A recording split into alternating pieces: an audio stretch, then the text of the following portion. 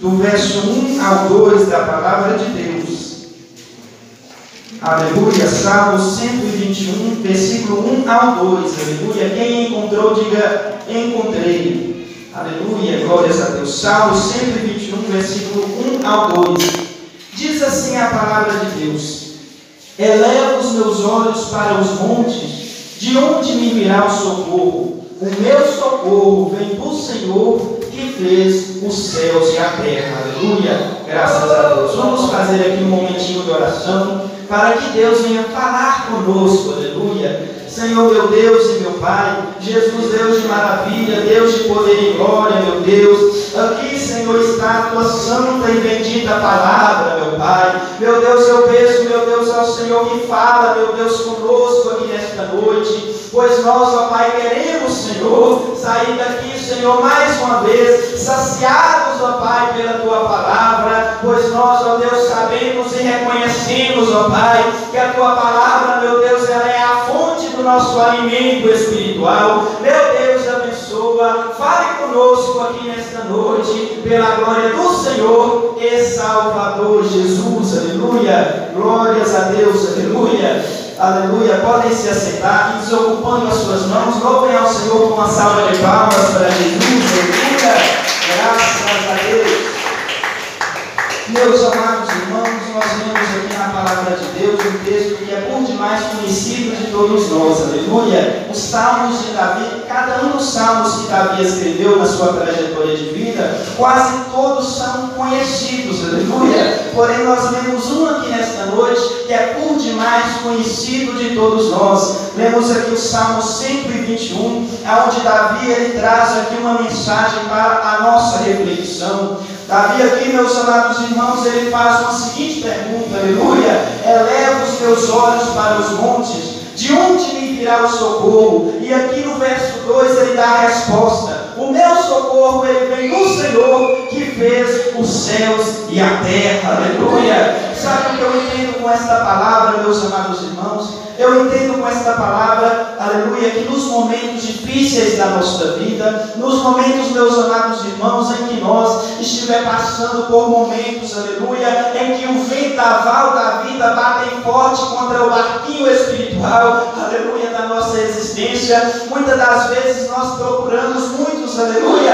muitos afazeres, muitos meios aonde nós pode fazer esta tempestade se acalmar, fazer que tudo em nossa vida, aleluia, seja de acordo. Claro que todos nós não queremos que, que as coisas saiam fora das rédeas, não é verdade? Mas quando as coisas perdem o controle, quando a gente está passando por imensas dificuldades nesta vida aqui nesta terra, a gente aprende, meus amados irmãos, que muitas das vezes o nosso socorro não vem, aleluia. Muitas das vezes, aleluia, aqui nesta terra, o nosso socorro ele vem do céu, aleluia. Porque o nosso socorro ele vem do Senhor que fez os céus e a terra. E a igreja louva ao Senhor com a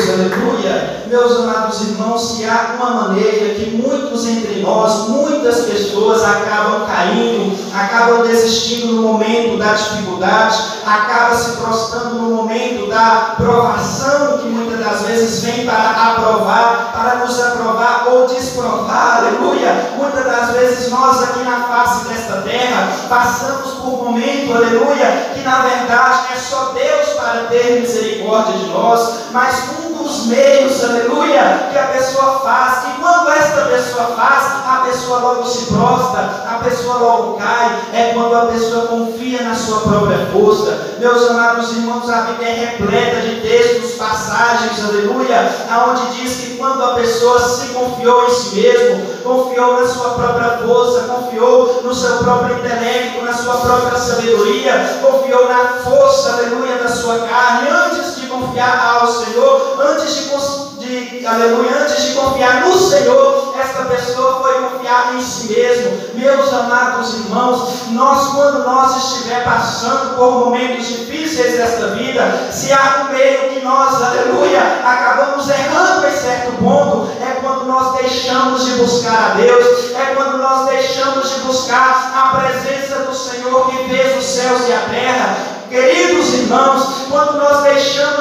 buscar a Deus no momento de luta, quando nós deixamos de buscar a Deus no momento de provação, é como se nós mesmos estivessem falando, aleluia, que nós não precisamos de Deus, quando na verdade Deus, aleluia, aleluia, glórias a Deus, é quem não precisa de nós. Se nós adorar a Deus, se nós crer em Deus, se nós, aleluia, estar com Deus, Deus ele é Deus, mas se nós deixar de crer na palavra de Deus, se nós deixar, aleluia, de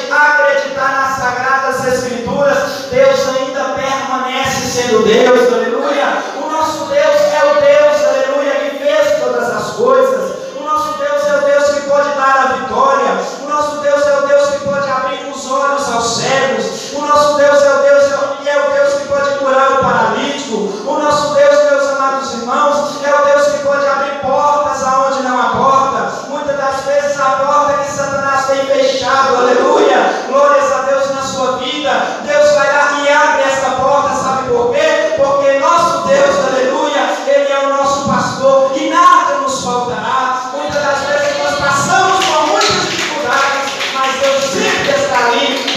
Dar a vitória, aleluia, glórias a Deus.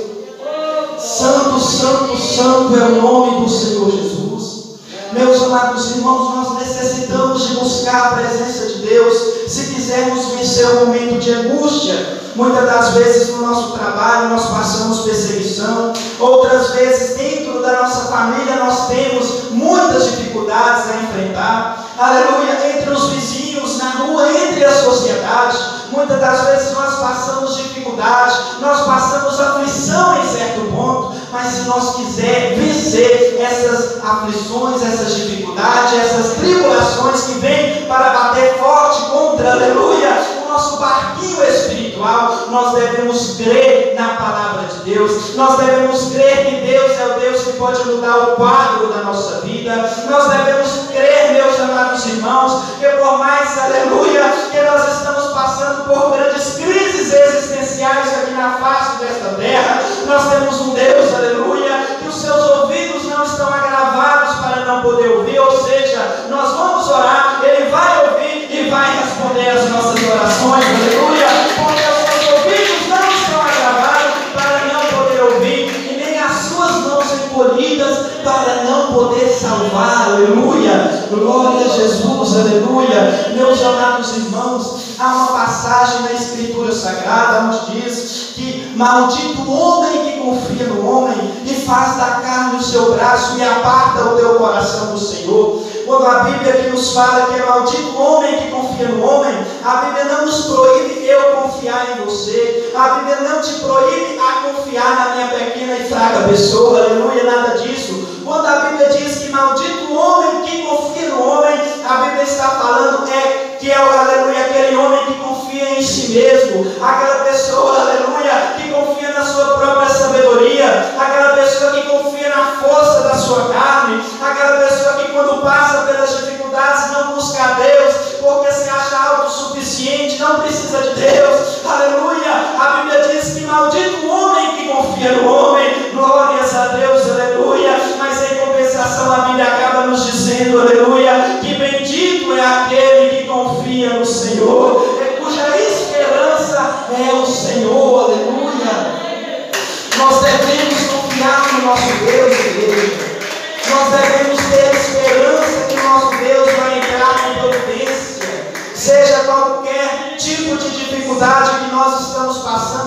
devemos ter que Deus é o Deus que pode nos garantir a vitória.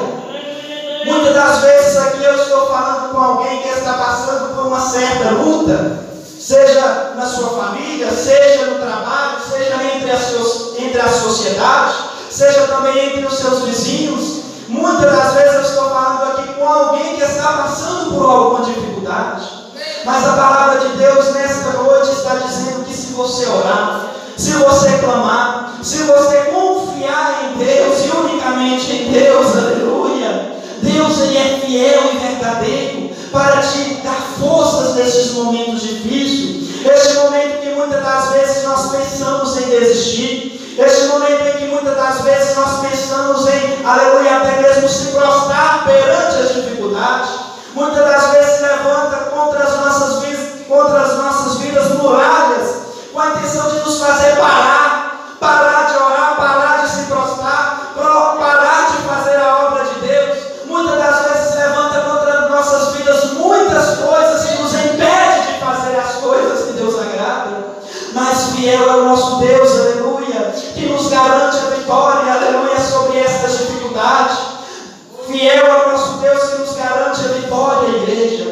Davi, quando ele escreveu estes salmos, ele estava passando por uma imensa dificuldade.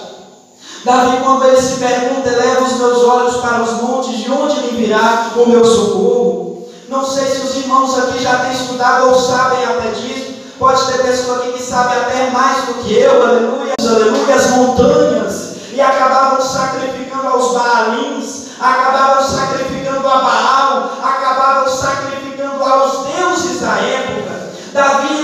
disso. Davi ele sabia que ao invés destas pessoas seguirem ao verdadeiro Deus, seguiram a outro deuses, deuses chamados pela Bíblia deuses estranhos.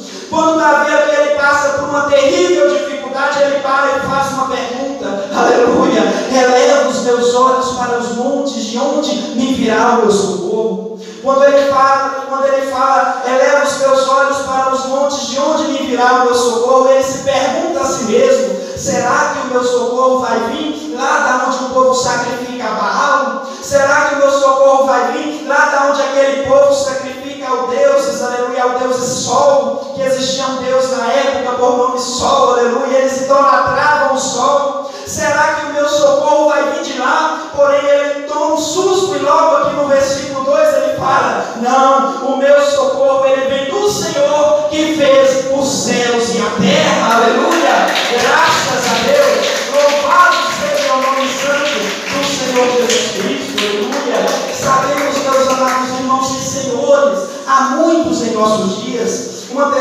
serve a um Deus estranho, aquele Deus estranho é um Senhor para aquela pessoa. Mas aqui a Bíblia fala que Davi disse: Não, meu socorro vem do Senhor que fez os céus e a terra. Quando ele diz que o meu socorro vem do Senhor que fez os céus e a terra, só existe um Deus que criou este céu, que criou esta terra, aleluia, em que estamos a viver. Este Deus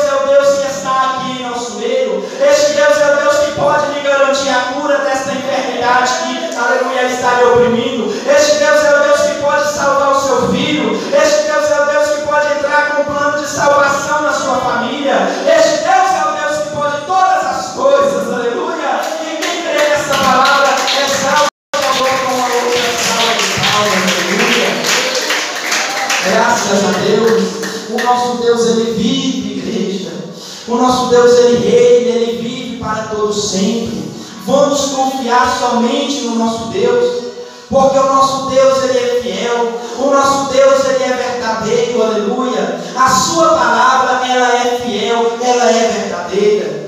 É terrível quando a pessoa deixa de confiar neste Deus. Quando a pessoa, meus amados irmãos, deixa, aleluia, de ler, de crer e de praticar esta palavra. A palavra, meus amados irmãos, nos fala em livro de Gênesis, que é a primeira pessoa, aleluia, que foi artifício de cobre e ferro. Esta pessoa, meus amados irmãos, aleluia, segundo a Bíblia Sagrada, esta pessoa acabou cometendo, aleluia, glórias a Deus, uma idolatria ali no povo daquela época. A Bíblia fala de um homem por nome, aleluia, Tubal Caim. Tubal Caim, ele é da geração de Caim, aquele que cometeu o primeiro assassinato, que matou seu irmão Abel. Tubal Caim, meus amados irmãos, ele tinha dois irmãos, um que chamava Jubal e o outro que chamava Jabal. Jabal, segundo a palavra de Deus, ele era o pai de todos aqueles que habitavam em tendas, aleluia, glórias a Deus, e tinham gado da época. Já Jubal, ele era o pai de todos aqueles que, to que tocavam harpa e tinham seus instrumentos, aleluia. Porém, Tubal Caim, a palavra de Deus nos fala que este homem, ele começou a fazer obra de ferro, ele começou a fazer obra de bronze. E segundo a palavra de Deus, meus amados irmãos, naquela época, o povo, naquela época antiga, o povo tinha acabado de sair da década, da década do pau e da pedra e tinha entrado na época do ferro e do bronze. Quando Tubal Caim inventou ferro, quando Tubal Caim imitou o bronze, o povo ali passou a idolatrar o ferro, o povo ali passou a idolatrar, aleluia, o cobre. Eles diziam consigo: quem será como o ferro? A força do ferro é tremenda. O ferro não quebra como a vara, a vara quebra o ferro, não. Porém, nós sabemos, meus amados irmãos, que nada se compara à força do nosso Deus, aleluia. Conheço uma ilustração tão linda que vale a pena citar ela aqui hoje, aleluia, aleluia.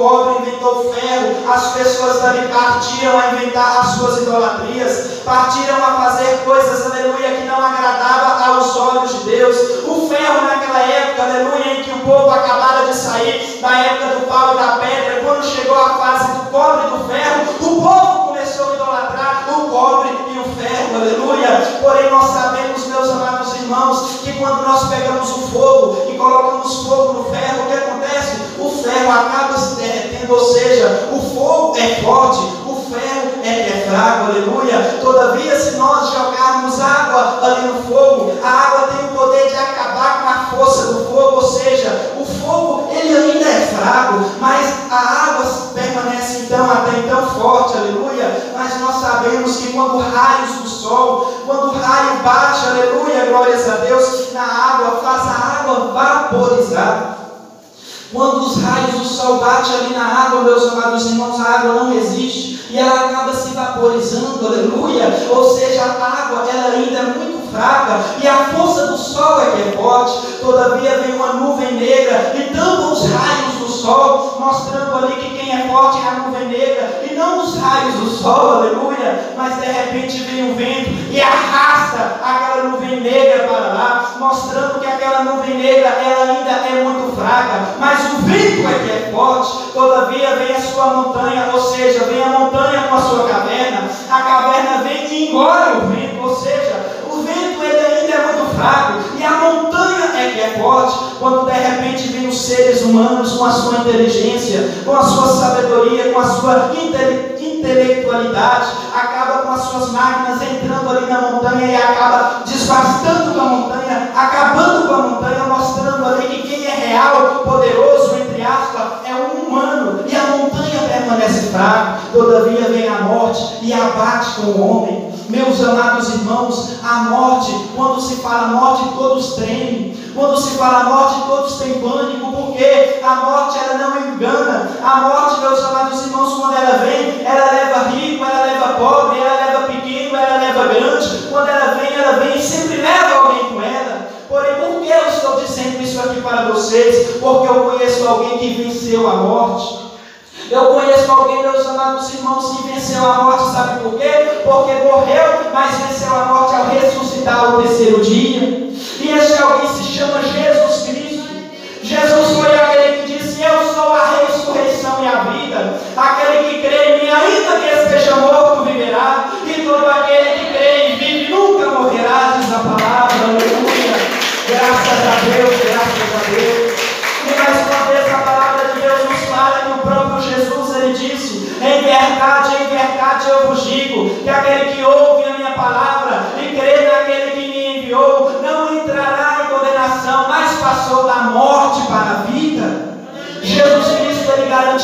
Vida àquele que aceita como seu Salvador. Jesus Cristo ele garante paz interior àquele que lhe aceita como Salvador. Mesmo quando a pessoa passa por dificuldade, a pessoa tem uma paz dentro de si, sabe por quê? Porque essa pessoa sabe que tem um Cristo poderoso. Essa pessoa sabe que tem um Deus que é poderoso, sabe de todas as coisas, opera todas as coisas, dá livramento quando a gente acha que é impossível daquela situação ser resolvida. Chega Jesus e vai lá resolve os nossos problemas. Nós servimos a um Deus maravilhoso, igreja. Vamos perseverar em buscar o nosso Deus. Vamos perseverar em estar sempre, aleluia, na graça do nosso Senhor e Salvador Jesus Cristo. Você que ainda não tem entrado por essas portas, você ainda que não tem aceitado a Jesus como seu Salvador, eu te dou um conselho, aceite ainda esta noite. Jesus ele tem uma grande bênção na sua vida. Jesus ele tem uma grande obra em realizar em sua vida. Mas para isso você tem que abrir a porta para Jesus. Jesus ele quer que você abra a porta do seu coração. Aceite Ele como seu Salvador. Aceite Ele como o real e verdadeiro Senhor da sua alma. A partir daí você vai ver as coisas mudar na sua vida.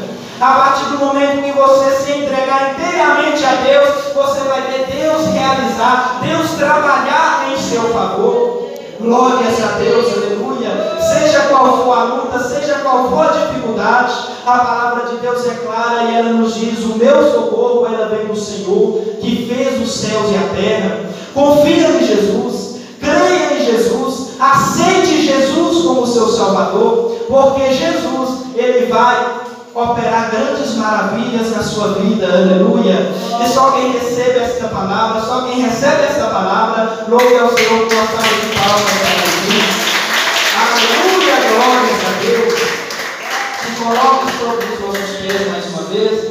Vamos fazer aqui um momento de oração, aleluia, para receber os irmãos com as oportunidades, aleluia. Graças a Deus. Vamos aqui, aleluia, fazer um momento de oração para receber o pastor Zezinho, que irá orar por revelação, que também irá, aleluia, conceder a oportunidade para a nossa irmã Jumaí, que também irá conceder a oportunidade ao nosso irmão Geraldo, aleluia, graças a Deus. Senhor meu Deus e meu Pai, Jesus querido, Jesus amado, Senhor meu Deus glorioso, muito obrigado, meu Deus, por esta palavra, meu Pai, que o Senhor tem falado, meu Deus, conosco, meu Deus, a glória. Obrigado, aleluia, por essa mensagem, papai, que o Senhor tem colocado no meu coração.